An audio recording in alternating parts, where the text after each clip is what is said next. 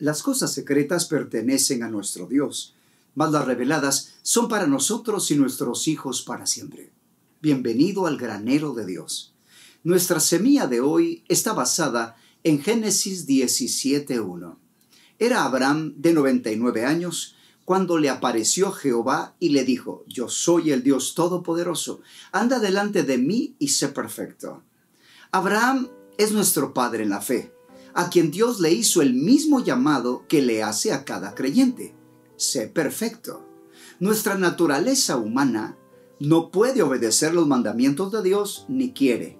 No quiere buscar a Dios, es egocéntrica y quiere vivir para hacer su propia voluntad independiente de Dios prefiere vivir para el deleite y el placer que vivir para hacer la voluntad de Dios. Sin embargo, el Dios Todopoderoso se hizo carne para manifestar su poderosa gracia. Murió en la cruz, fue sepultado y resucitó al tercer día para que los creyentes puedan ser santos y perfectos a través del poder capacitador de su gracia.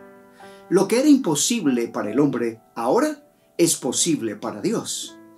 Él nos perfeccionará y nos santificará completamente de tal manera que lleguemos a pensar como Dios piensa, a sentir como Dios siente y actuar como Dios actúa.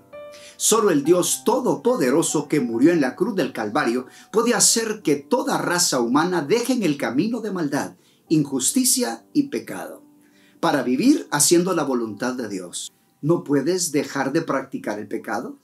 ¿No has podido romper con las adicciones que te tienen atrapado? Necesitas la gracia del Cristo resucitado para que puedas vencer y ser perfeccionado. Búscalo humildemente y lo encontrarás. Que su palabra se haga carne en nosotros y por su gracia la podamos vivir.